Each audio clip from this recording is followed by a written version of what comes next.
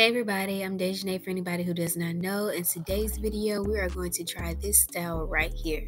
So this has been a cute summer hairstyle that's been trending and I just really want to try it on myself. Now, I am not somebody who knows how to do feed-in braids or anything like this, so we're going to do this the best way I know how, and it's going to be super beginner friendly because like I said, I really don't know how to do it the most professional way. So this is my hair, I mean, not professionally washed, um, freshly washed. So I'm just going to start off by parting. I'm doing simple parts. They're not going to be super clean because, you know, we're trying to do this at home. For the most part, I think they came out pretty neat though. Um, our hair tends to lay and part and stuff by like routine. So my hair is used to being parted in certain areas, so it just kind of naturally formed. It's like my hair is kind of trained to be um to lay a certain way or be parted a certain way. So yeah, we're just gonna divide this section. And I recommend for you to actually do this hairstyle on dry hair, and you'll see why later. So I'm using a Jamaican black castor oil. I'm gonna apply that evenly throughout my hair. I'm gonna do it um throughout like my hair, but also on my scalp as you want to make sure that this looks clean and good. You want to make sure that your scalp is juicy, your braids don't look dry, you know, all of that. And then I'm going to part out my edges. Now I'm going to pull out more than my baby hairs. I'm going to pull out my edges as well because I'm going for that wispy baby hair look. I don't know what changed, but Uh, you know, at first we used to like for, you know, the baby hairs to be laid like on the scalp, like tattooed to the scalp. But now this whole wispy baby hair look is actually kind of cute. I'm kind of feeling it. The only thing about it I will say is like if you are outside a lot, once that wispiness sweats out, it kind of just looks rough. Like it just looks like rough edges. Not even gonna lie to you. But it's cute for the moment. All right, so now I use some edge control. I applied it on my hair, and then I'm using Eco Styler um, to go on my hair as well. I personally like the edge control look better. It just makes everything look more clean. Um, but I didn't have that much edge control to like go throughout all my hair, so I just used um, gel to back it up. So whatever works for you, the edge control just has a more clean finish, and it um, it's stiff. It makes the hair a little bit more stiff, so it's easier to grab. Sometimes it can be hard to grab curly, wet hair. Like it kind of slips through your fingers. So that's just that tip. I believe the edge control that I use is Touchdown.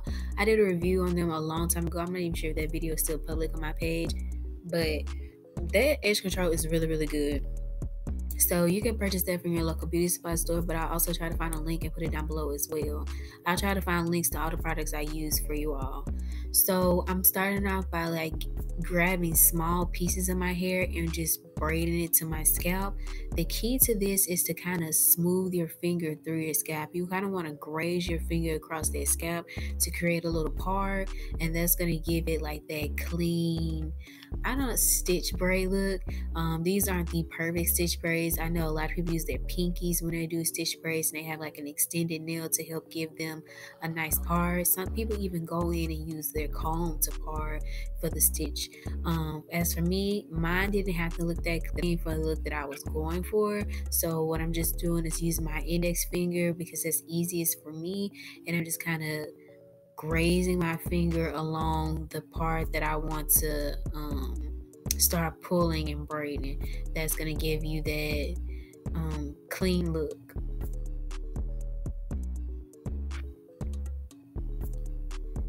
So, yep, that is really the routine. I'm going to do this all throughout my hair and I'm going to do four braids.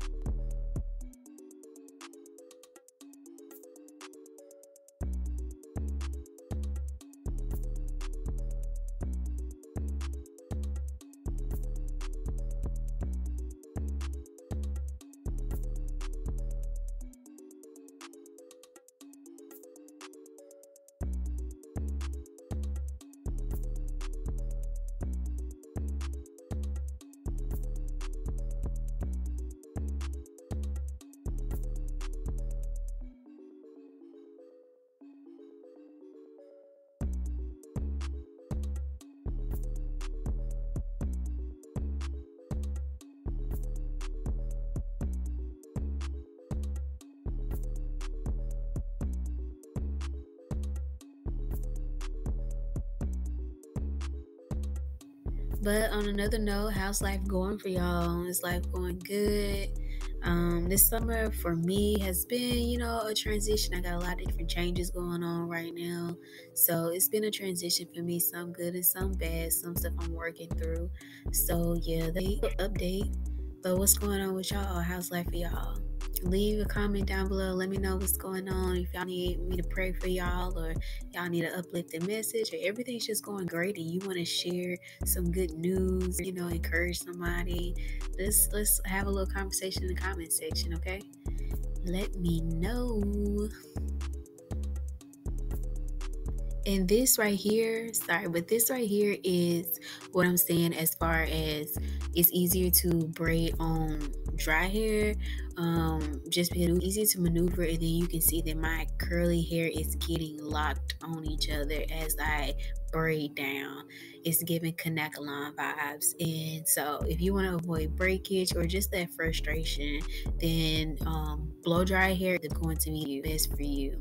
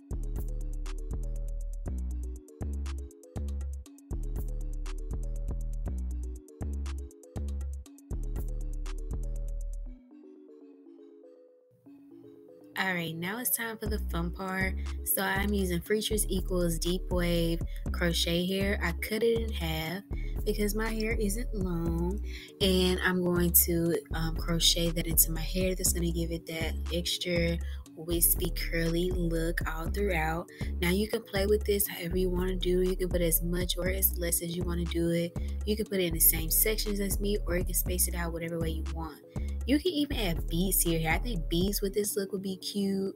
I think some little um what do you call those things? Little gold uh, hair accessories would be cute. Like you can really make this really fun and festive. For me, I can't do all that with my job. Unfortunately, I know y'all hear me say that all the time because it really be getting on because I really be type of styles my different styles with my hair. But I really can't do all them different styles with my hair because it's not food safe. But anyway, so yeah, live. I'm living through y'all. Tag me, please tag me if y'all try to um do this style. Tag me on Instagram so I can see it and I can repost it. I, I really want to see y'all try this style because it was so easy to do. I mean, maybe if you don't know how to braid, it's not that easy, but if you know how to braid, it's easy style.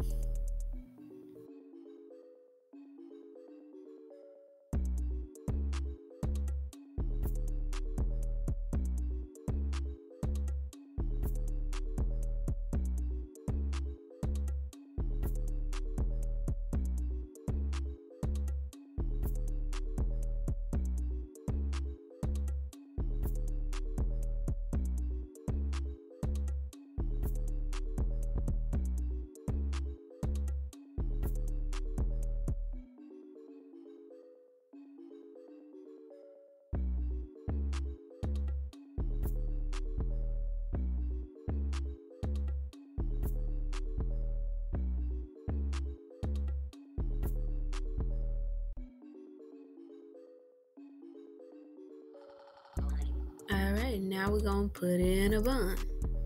Cause I could put in a bun.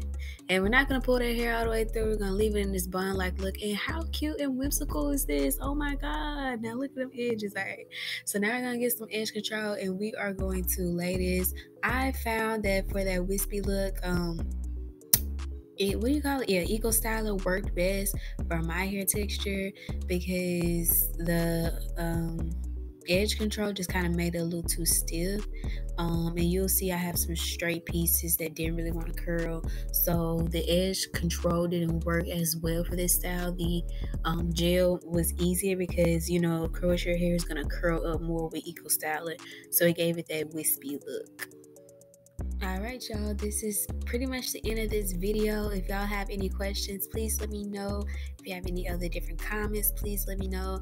And please let me know how y'all doing. I really want to know how y'all doing. So uh, let me know. But this is the final look. And how cute is it? Like I knew this hairstyle was cute. Everybody kept telling me it was cute, but like when I look at the video, I'm like, oh wow, that's actually really cute. Especially the back of the hair, because you can't see the back of the hair. It's cute. I want you to look cute too. So do this style and tag me so I can see you do it. Thank you. See you later.